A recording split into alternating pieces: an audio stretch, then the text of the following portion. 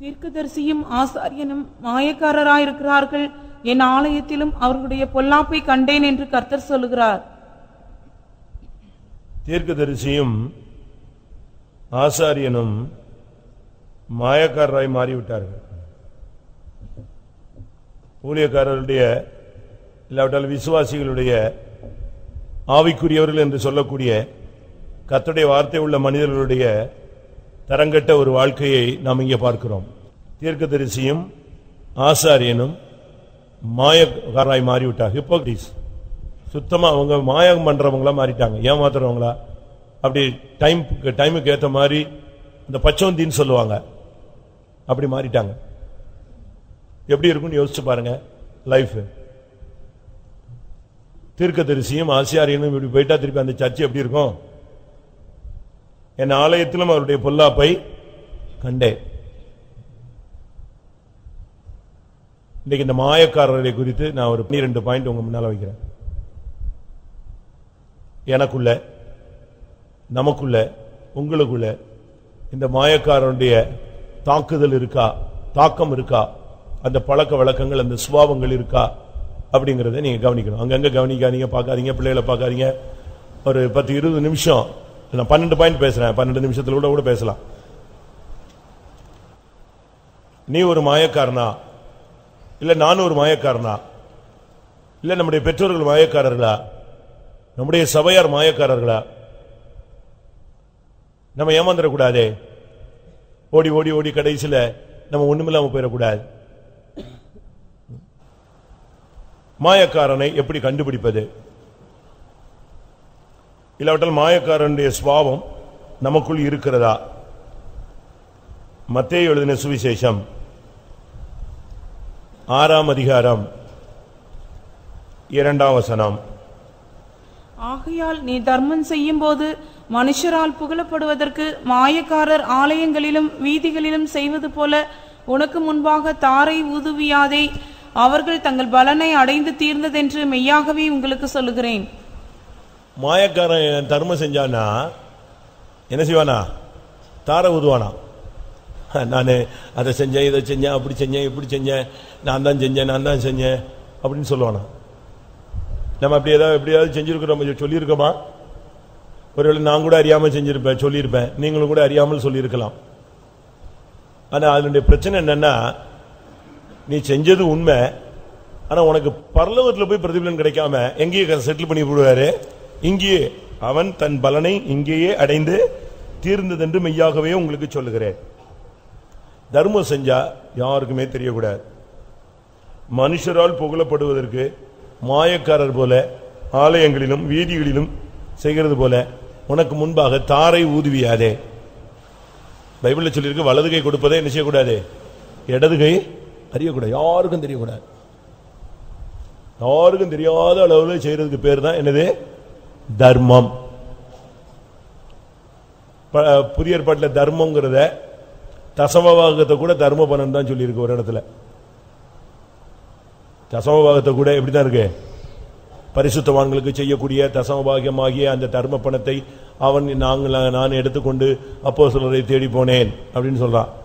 அவர்களிடத்தில் கொடுத்து அனுப்பினேன் அப்படின்னு. அப்ப யாருக்குமே தெரியக்கூடாது. ஒரு சிலர் பாருங்க இந்த அஞ்சு ரூபா பத்து ரூபாயை கூட விரிச்சு கொடுப்பாங்க. அந்த கல்யாண வீட்டில் மொய் எழுதுற பழக்கத்துல செய்வான். அப்படி செய்யவே கூடாது. தெரிகிற அளவில் நம்ம எந்த விதமான காரியத்தையும் செய்யக்கூடாது. அப்படி செஞ்சா நாம் யாரு? நாம் யாரு? மாயக்காரன். யாருக்கும் தெரியக்கூடாது. உனக்கும் தேவனுக்கு மட்டும்தான் என்ன செய்யணும்? தெரியணும். ஒரு சிலர்லாம் உதவி செஞ்சுட்டு சொல்றாங்க நான் சென்னேன்னு சொல்லிடாதீங்க. நான் செஞ்சேன்னு செய்ய- செய்ய வேண்டாம் சொல்ல வேண்டாம். யார் செஞ்சான்னு என்ன செய்ய வேண்டாம்? சொல்ல வேண்டாம். அப்படிலாம் சொல்லுவாங்க. அவங்க இந்த உலகத்தில் பிரதிபலன் வேண்டாம் எனக்கு எங்க தான் வேணுங்கிறாங்க? பரலோகத்தில் தான் வேணுங்கிறாங்க. அப்ப தர்மம் செஞ்சுட்டோ ஊழியம் செஞ்சுட்டோ காணிக்க கொடுத்துட்டோ தர்ம த- ஏதாவது தசமாவம் கொடுத்துட்டோ அது நான் தான் கொடுத்தேன். அப்படின்னு நம்ம என்னைக்கு வாயை திறந்து நான் கூட இப்போ தான் ரொம்ப யோசிக்கிறேன். நானும் அப்படி சொல்லியிருக்கேன். நான் அவனை படிக்க வச்சேன் இவனை படிக்க வச்சேன் ஃபீஸ் கட்டினேன். அது ஒருவேளை உங்க பக்தி விருத்திக்கு எதுவாக சொன்னாலும் வசனத்தின்படி அது என்னதுதான்? தான் தான்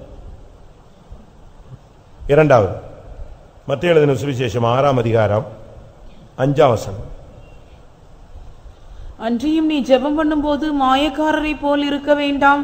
மனுஷர் காணும்படியாக அவர்கள் ஜெப ஆலயங்களிலும் வீதிகளின் சந்திகளிலும் நின்று ஜெபம் பண்ண விரும்புகிறார்கள். அவர்கள் தங்கள் பலனை அடைந்து தீர்ந்ததென்று மெய்யாகவே உங்களுக்கு சொல்லுகிறேன். ஜெபத்துல பயங்கரமா ஜெபம் பண்ற ஆளுங்கெல்லாம் நீங்க பாத்திருக்கீங்களா ஒரு சிலர்லாம் ஒரு சிலர் வந்து இயேசுவின் நாமத்தில் அதாவது இறங்கிடுவாங்க. உடனே ஒரு ஒரு ஒரு அரை- அரை நிமிஷம் கால் நிமிஷத்தில் ஜெபிக்கிறவங்க இருக்காங்க. அதே நேரத்தில் அரை மணி நேரம் ஜெபிக்கிறவங்க இருக்காங்க. அவன் எல்லாரும் இருமி இருமி துப்பி எந்திரிச்சு போய் அவன் கண்ணை திறந்து இவங்க முடிக்கலையா? இன்னுமா? ஆ சோத்திரம் சோத்திரன்ட்டுமா இல்லை எப்படியாவது முடிக்க வைக்கிறதுக்காக இவன் என்னெல்லாமோ பண்ணுவான். அப்படி ஜெபம் பண்ணுறது தவறு. நீங்கள் ஜெபம் பண்ணும்போது மனுஷர் காணும்படியாக என்ன செய்யக்கூடாது? ஜெபம் பண்ணக்கூடாது. நான் தான் ஜெபம் பண்றேங்கிறத காட்டுறதுக்காக அப்படி அந்த ஒரு மாயக்காரனுடைய ஜெபம் நமக்கு இருக்கக்கூடாது. பக்தியான ஜெபமா இருக்கணும். உன் அறை வீட்டை பூட்டிக் கொண்டு அந்தரங்கத்தில் உன் பிதாவை நோக்கி என்ன செய்? கூப்பிடு. அப்பொழுது அவர் வெளியரங்கமாக உனக்கு என்ன செய்வார்? ஆ? பலனளிப்பார். இந்த மாயக்காரனுடைய ஜெபம் எப்படின்னா நீண்ட ஜெபம். மத்திய இருபத்தி மூன்று பதினான்கு பாருங்கள் மாயக்காரராகிய வேதபாரகரே பரிசெயரே உங்களுக்கு ஐயோ பார்வைக்காக நீண்ட ஜெபம் பண்ணி. நீண்ட ஜெபம் பண்றது. ஏன் உனக்கு பைபிள்ல வந்து ஒரு மூவாயிரம் வசனம் தெரியும் ஒத்துக்கிறேன். அதை சொல்லி இதை சொல்லி இதை சொல்லி இதை சொல்லி இதை சொல்லி அதை சொல்லி திருப்பி அதை சொல்லி. அப்படிலாம் பண்ண வேண்டாம் சும்மா சிம்பிள்.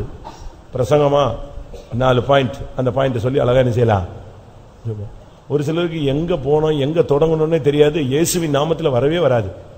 எது? அந்த முடிக்கும் போது இயேசுவின் நாமத்தில் வேண்டிக் கொள்கிறோம் அந்த பாயிண்டே வராது. இவன் போயிட்டே இருப்பான். இவன் எப்போ இவனுக்கு எவனாவது போய் சொல்லிக் கொடுக்கணும் இயேசுவின் நாமத்தில். அப்படி நீங்க ஜெபிக்க கூடாது. சில வீடுகளில் பாருங்க சென்னையில் ஒரு வீடு இருந்துச்சு. அந்த பிள்ளைகளை பத்தி அவன் அந்த பேரண்ட்ஸ் வந்து துக்கு துக்கப்ப அவர் வந்து நல்ல மனுஷன் ஒரு ஆவிக்குரிய மனுஷன் துக்கப்பட்டார். என் பிள்ளைங்க ஜபத்தில் இருக்கிறது இல்லை இருந்தால் எந்திரிச்சு போயிடுறாங்க. பாதியில் எந்திரிச்சு போயிடுறாங்க. நீங்க பிரதர் நீங்க சொல்லுங்க. நான் அப்போ பிரதர் நான் சொன்னேன் அந்த பையங்களை பார்த்து என்னடா ஏன்டா ஜெபத்துக்கு போல? ஏன் எந்திரிச்சு போயிட்டீங்கன்னு? அவன் கேட்குறான் பிரதர் ஃபைத் தமிழில் பத்து மணி ஜபம் எத்தனை மணிக்கு முடியுதுன்னா? பத்து டு பதினொன்று இந்த இவர் பத்து மணிக்கு தொடங்கினா பன்னெண்டரை வரைக்கும் நான் காலையில் ஸ்கூலுக்கு போக வேண்டாம் ஒன்று இவர் வாட்டுக்கு அந்த வார பிரசங்கம் வீட்டுக்கதை ரோட்டில் பார்த்தது எல்லாம் பேசிக்கிட்டே போகிறாரு இவருக்கு தூக்கம் வரலன்னு நான் என்ன பண்ணுறதுங்கிறான் அப்படி போட்டு அவனை ரப்பர் மாதிரி இழுத்து அவனுக்கு அந்த தேவ சமூகமே வேண்டாம். அதனால இவன் எங்கேயோ சுத்த போயிட்டு எத்தனை மணிக்கு வரான்? லேட்டாக வரான். இப்படிலாம் சில பேரண்ட்ஸ் பண்ணுவாங்க. அதெல்லாம் தவறு. அதுக்காக அரை நிமிஷத்தில் ஜெபிச்சு ஒரு ஒரு ரெண்டு வசனம் படித்து அறப்பாட்டு படி அரைக்கால் ஜெபம் பண்ணி அப்படியும் இயேசு நாமத்தில் நிச்சயக்கூடாது பக்தி விருத்தி உண்டாகணும். ஒரு வார்த்தை சொல்லி ஜெபிச்சா பளிச்சுன்னு அப்படியே போய் ஜனத்தை என்ன செய்யணும்? டச் பண்ணணும். நீண்ட ஜெபம். அது நம்முடைய ஜீவியத்துக்கு உதவாது. மத்தேயு ஆறாம் அதிகாரம் பதினஞ்சாம் வசனம். மனுஷருடைய தப்பிதங்களை நீங்கள் அவர்களுக்கு மன்னியாதிருந்தால் உங்கள் பிதா உங்கள் தப்பிதங்களையும் மன்னியாது. இல்ல இல்ல பதினாறு சாரி அடுத்த வசனம். நீங்கள் உபவாசிக்கும் போது மாயக்காரரைப் போல முகவாடலாய் இராதேயுங்கள் அவர்கள் உபவாசிக்கிறதை மனுஷர் காணும் பொருட்டாக தங்கள் முகங்களை வாட பண்ணுகிறார்கள். அவர்கள் தங்கள் பலனை அடைந்து தீர்ந்ததென்று மெய்யாகவே உங்களுக்கு சொல்லுகிறேன். நீ உபவாசம் இருக்கிறது யாருக்குமே நிச்சய கூடாது ஆ? தெரியவே கூடாது. நீ இப்பதான் பிரியாணி சாப்பிட்டு வந்த மாதிரி வந்திருக்கணும். தலையில நல்லா எண்ணெயை தேய்ச்சிட்டு தெளிவா வந்து கொடுத்துல உட்காந்தீங்கன்னா அப்படியே எண்ணெய் எண்ணெய்லாம் வடிஞ்சு அப்படியே பிரைட்டா நீ வந்த மாதிரி இருக்கும். நீ அப்படியே இந்த செத்து போன மாதிரி. என்னப்பா என்னப்பா? ஒன்றும் இல்லை ஒன்றும் இல்லை. இருபத்தொரு நாள் ஃபாஸ்டிங் அது என்ன? அப்படி இல்லை நீ இந்த முகவாடெல்லாம் இருக்கக்கூடாது. பைபிளில் வாசிங்க. நீங்கள் ஜெபிங்க. உபவாசம் போடும்போது எப்படி இருக்கணும்? உபவாசம் போடும்போது எப்படி இருக்கணும்?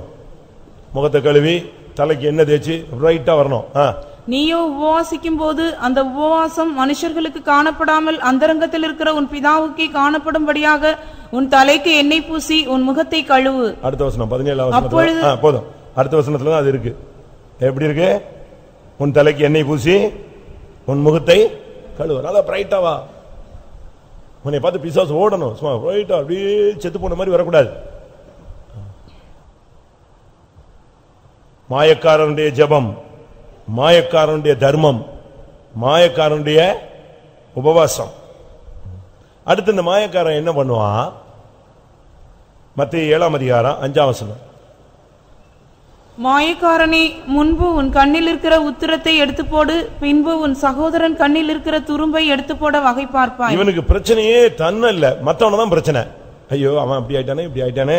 அவனை மத்தவனை பத்தியே தான். நீ உன் கண்ணில் இருக்கிற உத்தரத்தை உணராமல் உன் சகோதரன் கண்ணில் இருக்கிற துரும்பை பார்க்கிறது உத்தரவு உத்தரம் தெரியுமா?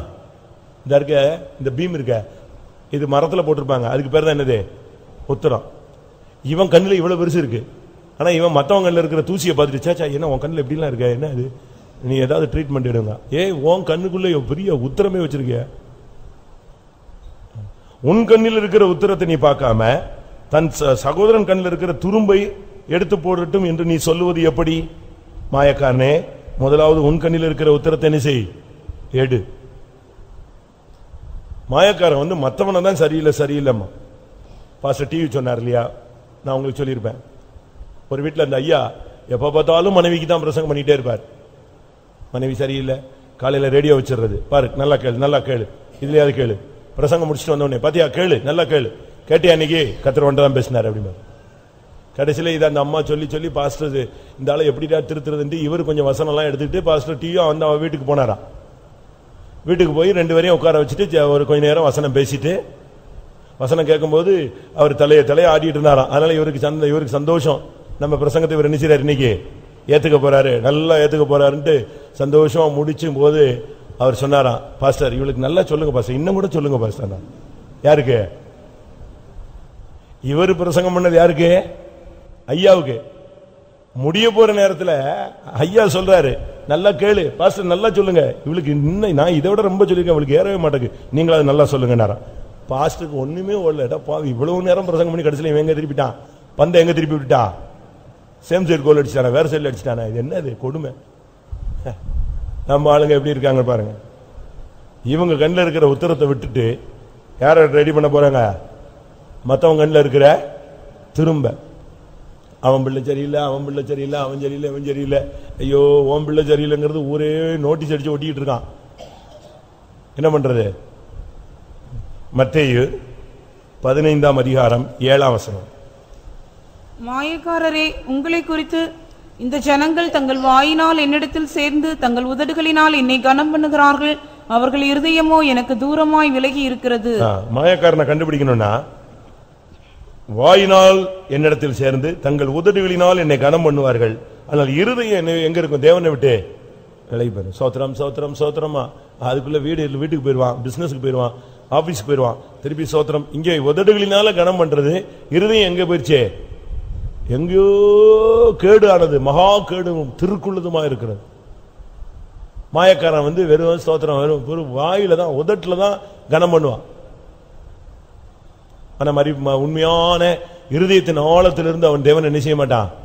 கனம் பண்ண மாட்டான். உள்ளத்தின் ஆழத்திலிருந்து. ஒருத்தர் சொன்னார் அடி வயிற்றிலிருந்து வர்றதான துதியும் அந்த சத்தம் தான் என்னது? உண்மையானது. சோத்ரா ஆ ஆ அப்படின்னு சொல்றதெல்லாம் இல்ல. உள்ளுக்குள்ளிருந்து என்ன செய்யணும்? ஜீவனை கொடுத்து நீ தேவனை உயர்த்தரு. அவர்கள் உதடுகளினால் என்னை சேர்ந்து தங்கள் இருதயத்தினால் என்னை விட்டு என்ன செய்கிறார்கள்? விலகி போயிருக்கிறார்கள். நீங்க அப்படி இருக்கீங்களா? மத்தேயு இருபத்தி இரண்டு பதினெட்டு. மாயக்காரரே நீங்கள் என்னை ஏன் சோதிக்கிறீர்கள்? அவர்கள் துர்க்குணத்தை கண்டு. இயேசு அவர்கள் துர்க்குணத்தை அறிந்து மாயக்காரரே நீங்கள் என்னை ஏன் சோதிக்கிறீர்கள்? மாயக்காரன் வந்து துர்க்குணம் உள்ளவன். துர்க்குணங்கிறது ஜென்மஸ்வாவம்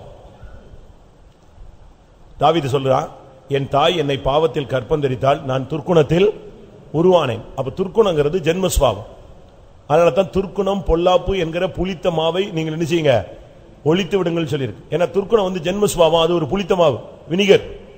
அதை தூக்கி உள்ள வச்சிட்டீங்கன்னா போதும். டக்குன்னு இருக்கிற நல்ல சுவாபத்தை அவ்வளோத்தையும் என்ன செஞ்சிடும் புளிப்பாக்கி விட்டுரும். அதனால தான் அவர்கள் துர்க்குணத்தை அறிந்து மாயக்காரரே நீங்கள் ஏன் என்னை சோதிக்கிறீர்கள்? மற்றவங்கள கேள்வி கேட்கறது மற்றவங்கள சோதிக்கிறது. அவன் எப்படி இருக்கான் எப்படி இருக்கான்னு பார்ப்போம். பேசி பார்ப்போம் அவன் எந்த ரூட்ல வர்றான்னு பார்ப்போம். அது எல்லாமே மாயக்காரனுடைய வேலை. துர்க்குணம். மத்தேயு இருபத்தி மூன்று பதிமூன்று. நான் சீக்கிரம் முடிச்சிடறேன். அது பிறகு நீங்க எல்லாரும் இன்னைக்கு அபிஷேகம் கிடைக்காம பின்னால தூண்ல இருக்கிற ஆள் வரைக்கும் அபிஷேகம் கிடைக்கணும். மாயக்காரராகிய வேதபாரகரே பரிசெயரே உங்களுக்கு ஐயோ. மனுஷர் பிரவேசியாதபடி பரலோக ராஜ்யத்தை பூட்டி போடுகிறீர்கள். நீங்கள் அதில் பிரவேசிக்கிறதும் இல்லை. பிரவேசிக்க போகிறவர்களை பிரவேசிக்க விடுகிறதும் இல்லை. எப்படி எப்படிப்பட்ட ஆளுங்களா இருக்காங்க பாருங்க? இவங்க எப்படி ஆளு? பரலோக ராஜ்யத்தை நெஞ்சிடுறாங்களா பூட்டிடுறான். நல்லா இருக்கு. இவன் போறதில்லை. அடுத்து இந்த நாய் கையில தேங்காய் கிடச்சிருமா? அதுக்கு அதை உடச்சு சாப்பிட முடியாது. ஆனால் எவன் கையில என்ன செய்யாது அது? கொடுக்காது. கேள்விப்பட்டிருக்கீங்களா அப்படி பழமொழி? அது வந்து அது உருண்டுகிட்டே இருக்குமா? இதுக்கு அதை விடவும் முடியாது. உடைக்கவும் தெரியாது. மத்தவன்ட்ட கொடுத்தா அவனா சாப்பிடும் அவனுக்கும் கொடுக்காது. அதே போல இவன் பரலோக ராஜ்யத்துக்கு இவனும் போறதில்லை. இவனும் பிரவேசிக்கிற நீங்களும் அதில் பிரவேசிக்கிறதில்லை. பிரவேசிக்க போகிறவனே என்ன செய்யறதில்ல? பிரவேசிக்க விடுகிறதில்ல. அப்படி எவனாவது போயிடுவானோ அப்படின்னு சொல்லிட்டு அதையும் பூட்டி வச்சிடுறது.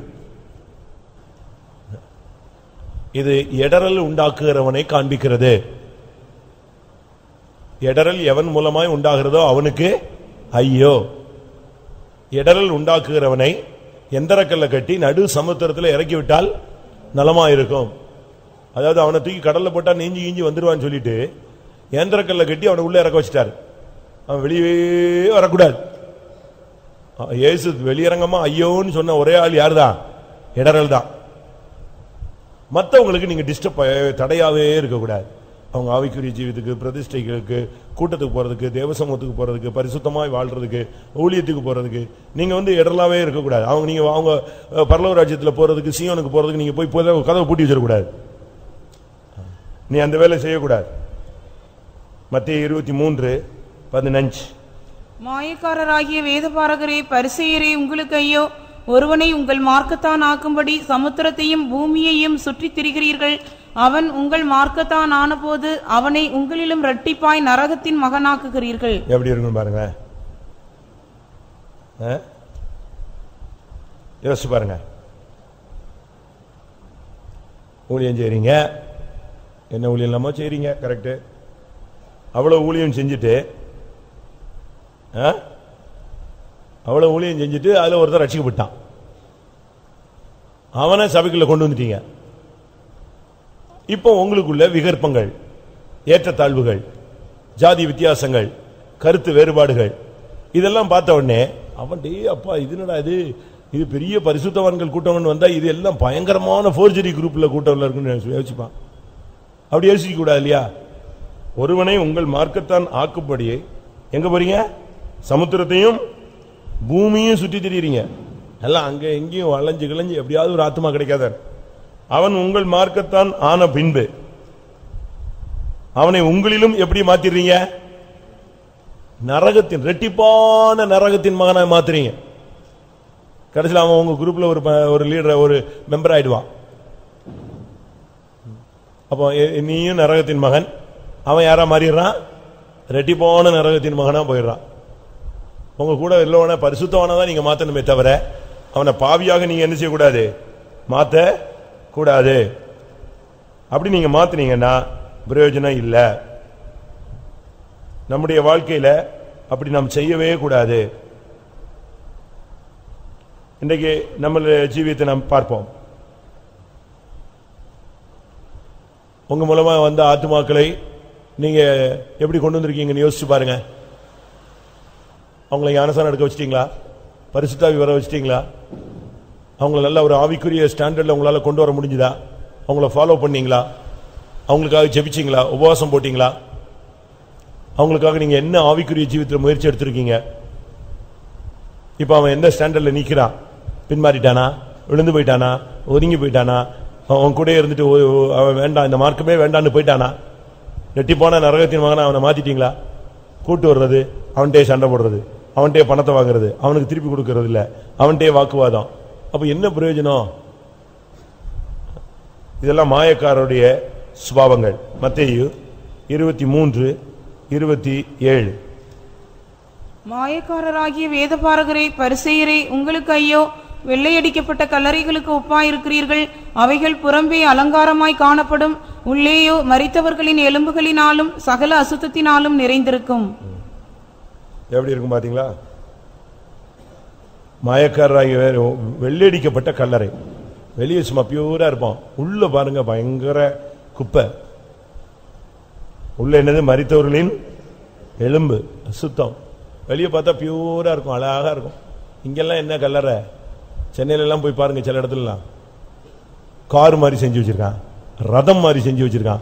பெரிய பங்களா மாதிரி கட்டி வச்சுருக்கான். லைட்டு போட்டு வச்சுருக்கான். அதுக்கு வந்து என்னென்ன டிசைன் டிசைனா கல்வெட்டுலாம் செஞ்சு வச்சிருக்கான்? நீ என்ன கல்வெட்டு செஞ்சு வச்சாலும் உள்ள இருக்கிறது என்னது? நாத்தம். நிற்க முடியாது. யோசிச்சு பாருங்க. வெளியரங்கமாக நம்ம பார்க்கும்போது நம்ம எல்லாம் நல்லவங்க.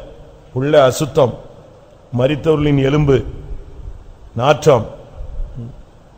உள்ளத்திலோ மாயத்தினாலும் அக்கிரமத்தினாலும் நிறைந்திருக்கிறீர்கள். நீங்கள் மனுஷருக்கு நீதிமான்கள் என்று புறம்பே காணப்படுது. இருபத்தெட்டாம் அவசரத்தில் இருக்குது மாயக்காரரே நீங்கள் மனுஷருக்கு நீதிமான்களாய் காணப்படுகிறீர்கள். ஆனால் உள்ளம் எப்படி இருக்கிறது? எத்தனை சொல்லியிருக்கேன்? ஒன்பது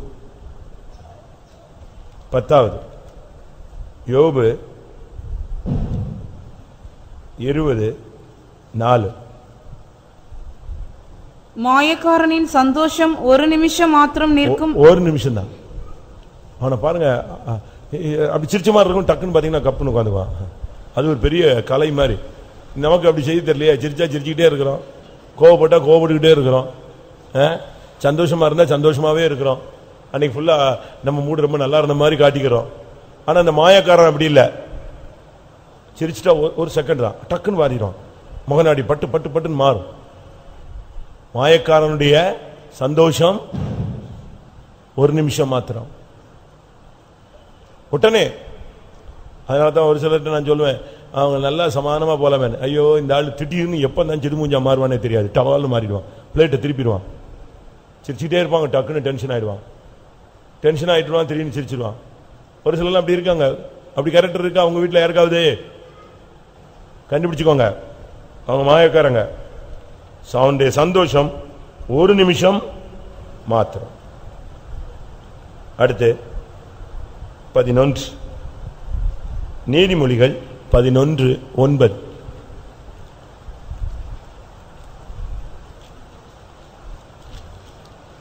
கள்ளத்தராசு கர்த்தருக்கு அருவருப்பானது சுமுத்திரையான நிறைகல்லோ அவருக்கு பிரியம். சாரி தப்பு தப்பு. எந்த வசனம்? நான் அதானே சொன்னேன். நான் சொன்னது அதானே சொன்னேன்.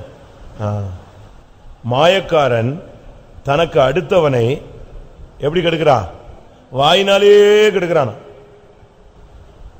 பேசியே கொன்றுவான் ஒரு சிலர். பேசி பேசியே காரியை கெடுத்துருவான். மாயக்காரனுடைய பெரிய கிரியையே இதுதான். மாயக்காரன் என்ன செய்கிறான்? தனக்கு அடுத்தவனை வாயாலேயே கெடுத்துருவான். ஒரு வார்த்தை சொல்லிட்டா போதும். அவன் திருப்பி செத்தே விடுவானே. அவனை கெடுத்து குட்டிச்சோராக்கிறோம் சிரிச்சு சிரிச்சு பேசுறது பின்னாலேயே போய் பேசுறது உட்காரம் போது பேசுறது சர்ச்சுக்கு வந்தா பேசுறது வீட்டுக்கு போன உடனே போன்ல பேசுறது செல்ல பேசுறது ரோட்ல பேசுறது காலேஜில் பேசுறது வீட்டில் பேசுறது திருப்பி கோயில்ல பேசுறது சண்டே ஸ்கூல்ல பேசுறது. என்னது அப்படி என்னது? வாயினாலேயே வாழ்க்கையை கெடுத்துறது தான். நாசமா போயிடும் வாழ்க்கை. மாயக்காரன் தனக்கு அடுத்தவனை வாயினால் கெடுக்கிறான். கடைசியாக மத்தேயு இருபத்தி நாலு அங்க பார்க்கும்போது மாயக்காரனோடு அவனுக்கு பங்கு.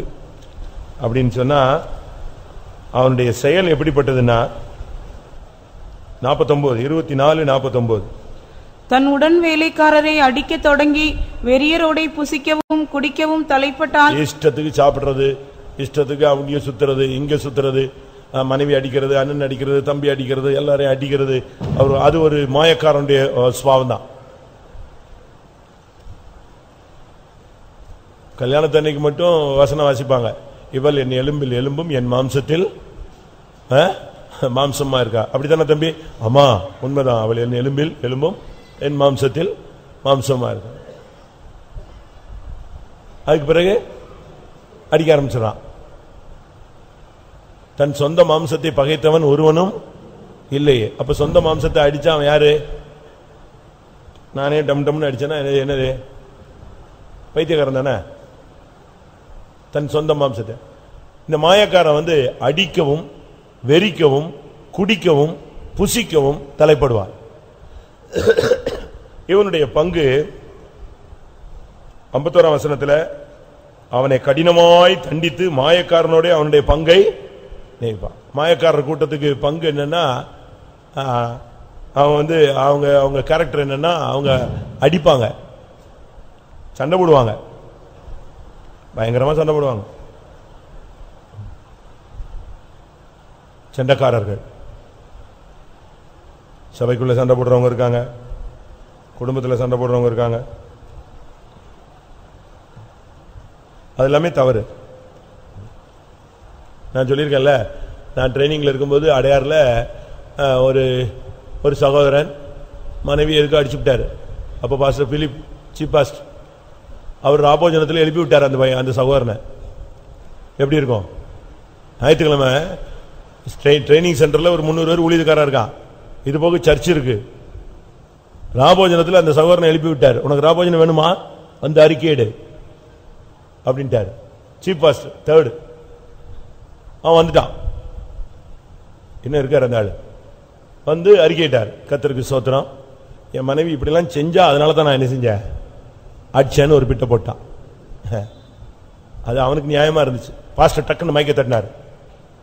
அடித்தது தவறு. அதை மாத்திரம் அறிக்கையிடுங்க இல்ல எ- எதுக்கு அடிச்சான்னு நியாயம் தெரியணும்ல? அப்படின்னா உனக்கு ராபோஜனம் கிடையாது வெளியே போன்ட்டார். வெளியே போ வெளியே. நியாயம் பேசுறது தேவனுடைய சபையில் என்ன கிடையாது? இடம் கிடையாது.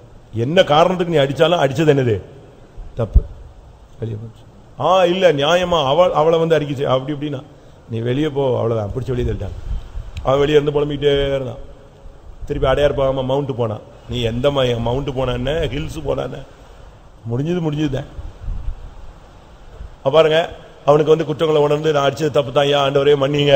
அப்படின்னு ஒரு வார்த்தை சொல்லி ராபோஜன் எடுக்கிறதுக்கு அவனுக்கு என்ன செய்யலை? துணி ஒரு வாஞ்ச வரலையே.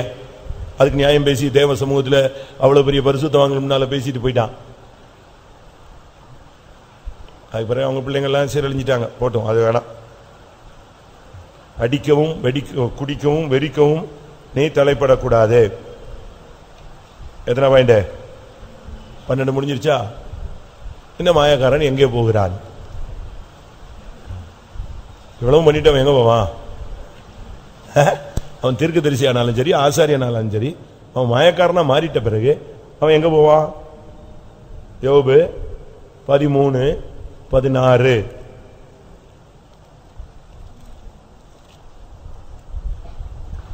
இல்லையா? மாயக்காரனோ அவர் சந்நிதியில் சேரான். மாயக்காரன் எங்க வந்து சேர மாட்டான் அவர் சந்நிதியில வந்து சேர மாட்டான் இங்க எங்கேயாவது சபையில எல்லாம் சுத்திட்டு இருப்பான் சபையில சேருவான். ஆனால் எங்க வரமாட்டான் அவன்? அவர் சந்நிதியில் சேரான். அவன் எங்க போவான்? மத்தேயு இருபத்தி நாலு ஐம்பத்தி ஒன்று. அவனை கடினமாய் தண்டித்து மாயக்காரருடைய அவனுக்கு பங்கை நியமிப்பான். அங்கே அழுகையும் பற்கடிப்பும் உண்டாயிருக்கும். அப்ப அவர் சந்நிதிக்கு போலன்னா எங்க போகணும்? அழுகையும் பற்கடிப்பு அப்ப இத்தனை வருஷம் நான் ஓடினது இத்தனை வருஷம் காணிக்க கொடுத்துருக்கேன் தசமாவும் கொடுத்துருக்கேன். அந்த பாச தெரியும் இந்த பாச தெரியும். ஒரு முப்பது பாச தெரியும். அப்ப நான் எங்க போறது? வேஸ்ட் வேஸ்ட் தானே? அப்படிதானே யோபு பதினஞ்சு முப்பத்தி நாலு மாயக்காரரின் கூட்டம் வெறுமையாய்ப்போம். வெறுமையா போயிடுவான். வேஸ்ட் அவ்வளவுதான். எம்டியா தான். எம்டி ஹேண்ட் முடிஞ்சு வெறுமையா தான் போவான். அவன் அவர் சந்நிதியில் சேரான். அழுகையும் பற்கடிப்பும் அவனுடைய பங்காய் மாறும். அவன் வெறுமையாய் போய் ஒண்ணு இல்லாம வேஸ்டா போயிடுவான். ஒன்னதெல்லாம் விருதா? தெற்குதரிசியும் ஆசாரியனும் மாயக்காரனாய் மாறிவிட்டார்கள். சியோனில் மாயக்காரருக்கு நடுக்கம் பிடிக்கிறது. எல்லாரும் கண்களை மூடுவோம். நான் இந்த பன்னிரெண்டையும் அப்படியே ரிப்பீட் பண்றேன். உங்களுக்காக.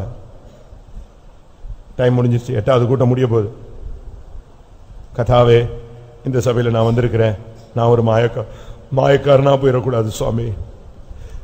மாயக்காரன் உன்னுடைய சந்நிதியில சேரான். அவன் வெறுமையாய் போய்விடுவான். அவனுக்கு அழுகையும் பற்கடிப்பு தான் பங்காக இருக்கிறது என்னை இதுக்காக என்னைய கொண்டு வந்தீங்க. இதுக்காக நான் இத்தனை வருஷம் இந்த பாதையில் போய்கிட்டு இருக்கேன். ஆண்டவரே தர்மம் செய்யும் பொழுது நான் யாருக்கும் சொல்ல மாட்டேன் ஆண்டவரே. நான் இனிமேல் தர்மம் செய்வது யாருக்கும் தெரியாது. நான் ஜெபம் நீண்ட ஜெபம் பண்ண மாட்டேன். பார்வைக்காக ஜெபம் பண்ண மாட்டேன். உம்மை கூப்பிடக்கூடிய ஒரு ஜெபம் மாத்திரமே நான் நேரெடுப்பேன் என் உபவாச நாட்களில் நான் வெளியே சொல்ல மாட்டேன்.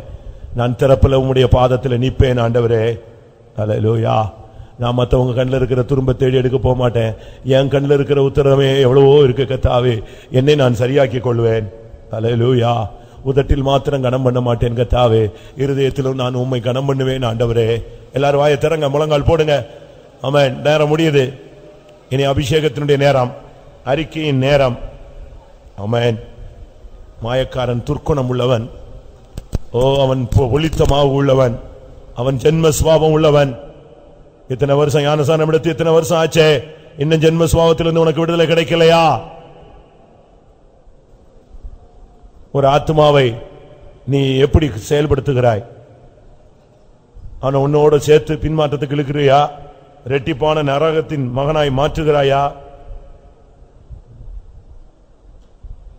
உன்னுடைய வாழ்வு வெள்ளையடிக்கப்பட்ட கல்லறையா? உன்னுடைய சந்தோஷம் ஒரு நிமிஷம் தானா? உன்னுடைய சந்தோஷம் நிலைத்திருக்க வேண்டுமே?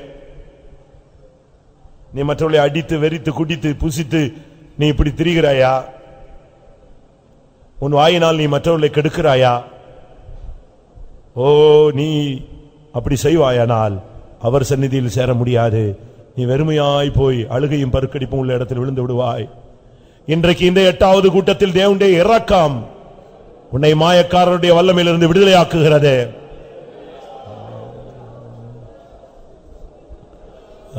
எல்லா எல்லாரும் எல்லாரும் கண்களை மூடி முழங்கால் போட்டு கொஞ்ச நேரம் கத்தாவே. நான் ஒரு மாயக்காரனாய் போய் விட்டேனே கத்தாவே. நான் ஓடி ஓடி ஓடி கடைசியில் உம்முடைய சந்நிதியில வந்து சேராம போயிடக்கூடாது கத்தாவே. என்னுடைய இலக்கை நான் விட்டு விடக்கூடாது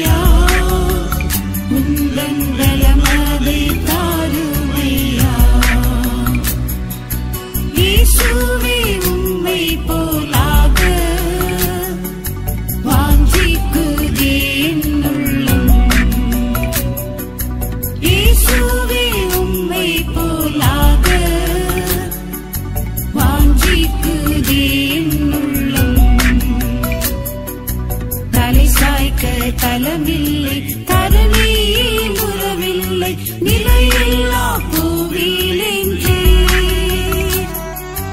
தலை சாய்க்க தலமில்லை